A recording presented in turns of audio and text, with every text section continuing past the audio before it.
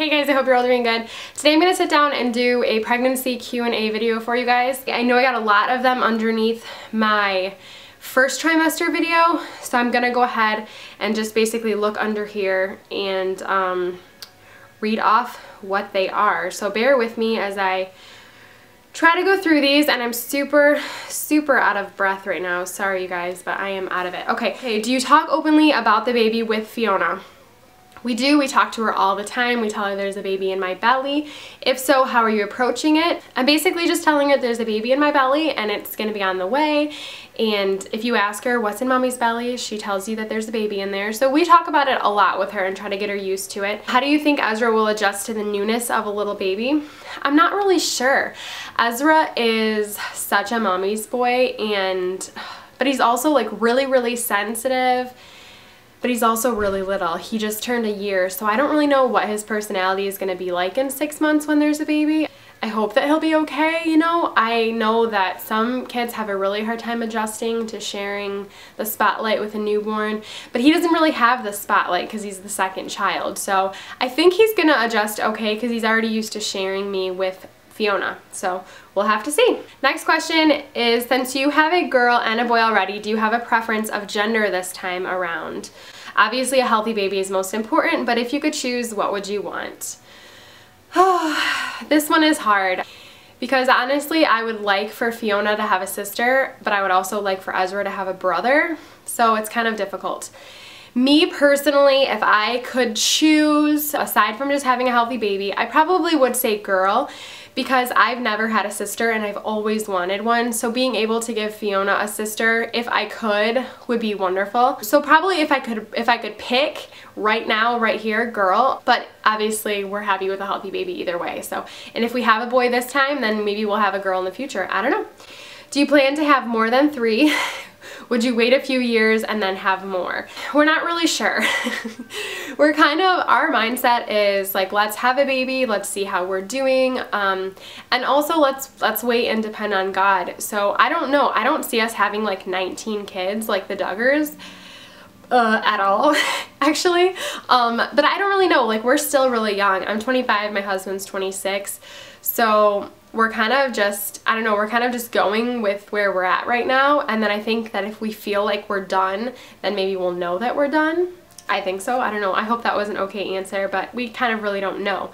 Are there any names you're considering but won't use that you can share? Well, we don't really have any names picked out yet, so I guess, I don't know, I guess that's my answer. Um, if we, like, there are names that I like that we're not going to use. I can't think of any off the top of my head, but we're not really considering any right now, um, mainly because we're going to be finding out what we're having in a couple days, and I think that once we know, then we'll be able to kind of move forward.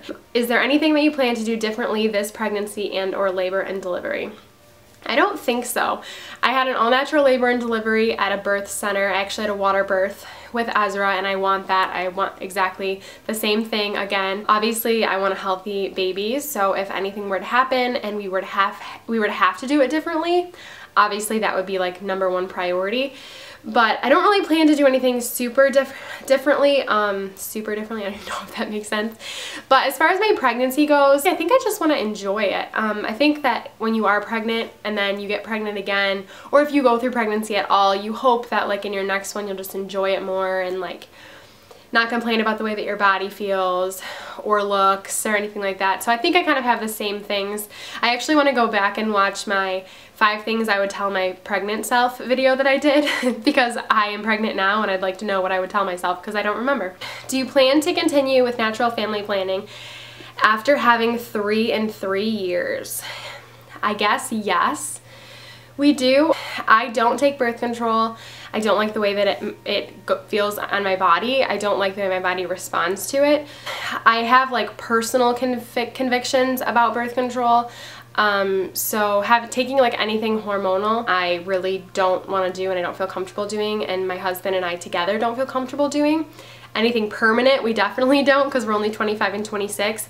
So it seems to me that natural family planning is really our only other option. So yeah, we're going to continue doing that after this baby's born. Next question is how many babies do you plan on having? Which I kind of answered that before. We're not really sure. We're kind of just leaving that up to God.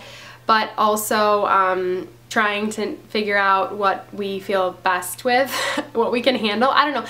That's kind of difficult, right? Because I feel like if we're like, we're leaving it up to God 100%, then it's like, okay, well, we could end up with like 20 kids. But I also feel like maybe we're going to know, like, I don't know, I feel like God speaks to his children, so maybe he's gonna, you know, give me a peace in my heart that we're done. And that's still leaving it up to God, but we just really feel like we've had a revelation from him that we're done having kids. I don't know, I'm still trying to figure it out myself, so I don't know, I don't pretend to have all the answers, so I don't know. The next question is, where are you going to put this baby? I don't know, girl. I have no clue.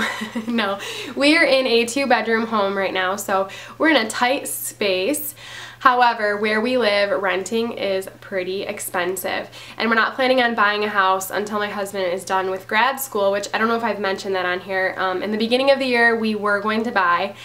And then just through some personal stuff, we just decided that until my husband is done with seminary, we don't want to deal with the process of owning a home or anything like that. So we're going to continue to rent. So the answer, I guess, is that if we can find something that's bigger that we can afford, then we will definitely take it. But if not, we're more than happy um, to just make this space work. And where we will put the baby, we will have Ezra and Fiona in one room, and then the baby will be in our room with us, which is more than fine because Ezra um, was in our room until about, until about a year. So we're, we'll just make it work. The next question is, are you breastfeeding while pregnant? Do you think you would tandem nurse? Oh, that is the question that I am struggling with right now, girl. I am breastfeeding right now, and Ezra is a year, and I don't have I don't have a very big interest in tandem nursing. Like, I really am not super pumped on it for me personally. However, if Ezra is not ready to wean and I can't get him to wean, in a timely manner to where if when the baby comes Ezra like doesn't like Ezra remembers it I don't want that.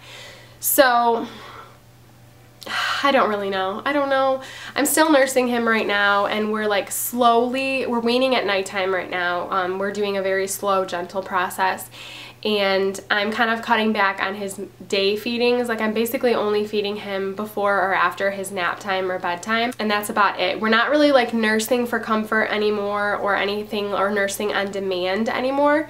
Maybe I'll do another video on that. I don't really know. I don't know. I'm still trying to figure out exactly what I feel comfortable with and what's going to work with our family. The last question is, are we going to be finding out the sex of the baby? And we are. We are going to be finding it out in just a couple of days. So I think that's all of my questions. I'm really surprised that I got them all answered in this one video. If I skipped over one and I didn't see it, or if you've asked me it and I said I was going to put it in this video and I completely forgot, please comment below and I will get it get to it in another video for sure. Um, and I will definitely get to that. So comment below and let me know if I forgot any questions and I will answer them for you. Thank you guys so much just for all your love and support and for being interested in our lives and wanting to ask questions about this pregnancy. We're super excited and I'm just really excited to share this journey with you guys and to continue to grow our family. We're just praying for a healthy baby and a healthy pregnancy and I'm just, I'm really excited. So thank you guys again and I will catch up with you guys later. All right, bye.